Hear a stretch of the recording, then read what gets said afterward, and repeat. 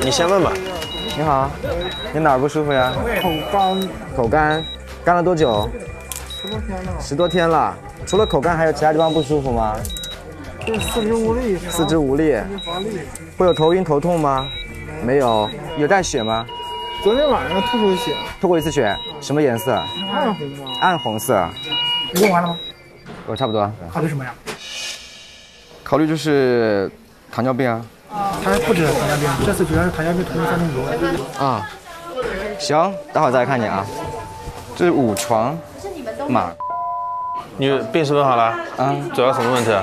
糖尿病同时酸中毒。嗯，怎么诊断出来的？就是，就是，整个人就是很不舒服。进来的人都是。卢医生被逗笑了。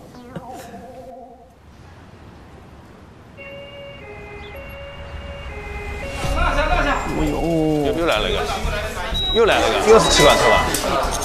奖励兵在外面啊，已经全满了，收了好几波了，不行了，今天爆表了。哎呀，病人太多了。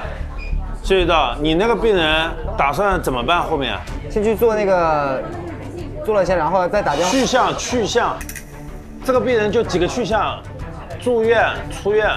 那我现在在打。喂，你好，我有我急诊有一床病人需要给您帮我看一下，可以吗？呃，五床的马。好，好，好，谢谢。内分泌的老师说，现在检查做完先再说。你要自己判断，我问你能不能出院？那肯定不能出院啊。你自己就自己想想回答我的是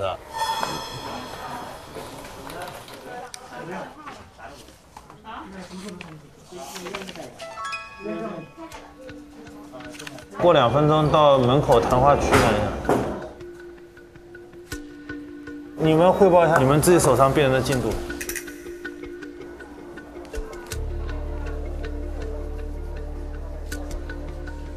现在给他降糖，降到了十八点一。嗯，然后呢？然后酮体是一个加。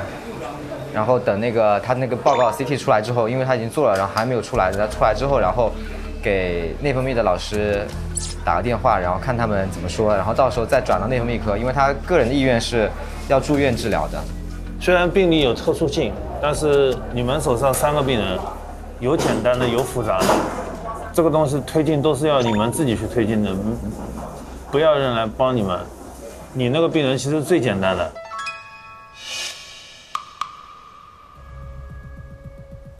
然后你的推进速度太慢，现在已经两点三十四分了。如果这个病人今天没有内分泌科住院住进去，那就是你的问题。五点以后是不可能住院住进去了，你懂我意思吧？那就留下来了，你得交给下一班。然后明天早上还会有这个病人，意味着我们的一张宝贵的急诊室抢救床位就被他占掉了。有更需要这张抢救室的病人，他进不来。我们急诊不是有病房吗？急诊病房不收这样的病人，因为我一直以为急诊病房是会收病人的呀。哦小谢怎么了？不要以为任何事情不要去以为，所有的错误都出现在以为身上。我就告诉你，你不用跟我讲其他，你就是没有做到位。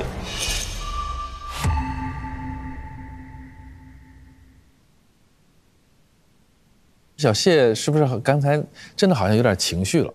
我觉得还是因为前边他们在各个科室的时候，一步一步的是被呵护着去教导着成长的。家长式的主任对，然后到这儿来，忽然间又从头开始，嗯，我觉得这个落差是太大了，强烈的反差。也恰恰可能是急诊的原因，对卢老师才是这样的一种工作的态度和方式。对，其实，在一般的病房来说呢，咱们培养的可能呃是这种反应能力呀、或者是这些临床思维啊，它是有一定的时间。但是呢，我觉得这个在急诊呢，它培养的是快速作战部队，对，它教学方法不能一样，所以这个就是急诊代教老师，我觉得必然的一个风格。嗯，其实我觉得谢世超会有点情绪，我也能理解。嗯，因为为什么呢？其实卢主任呢，他的这种的说话的方式，其实是略带有点反问式的。嗯，对，就像就像他跟刘畅说的，你都不签，那等患者就是那或者你你咱们一般人可以说，你应该把这个签上，嗯，这个叫直接告知交给你。但是反问式的呢，其实印象深刻，对，印象更深刻。对，像小谢这么情绪一直都波澜不惊的人，都进入了这样一种状态，可见他们集体确实进入了一个压力非常大的一个场景。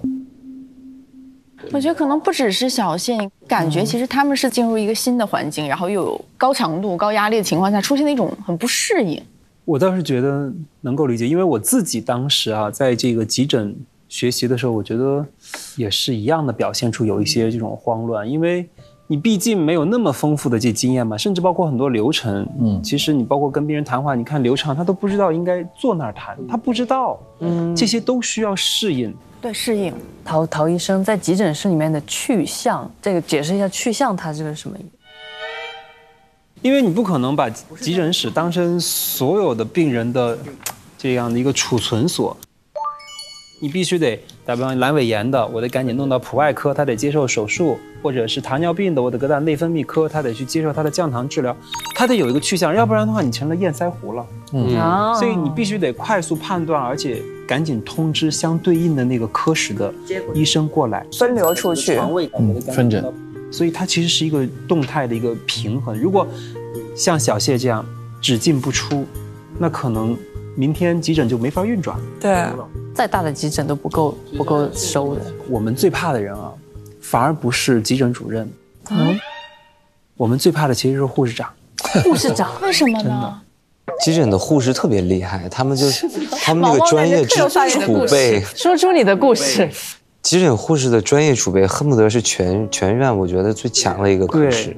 他们见过很多突发的情况，而且他会考你。对，哦，哎，毛毛在急诊轮转过，轮转过。多久啊？四周，但我是我们男生排夜班比较多，那不更崩溃吗？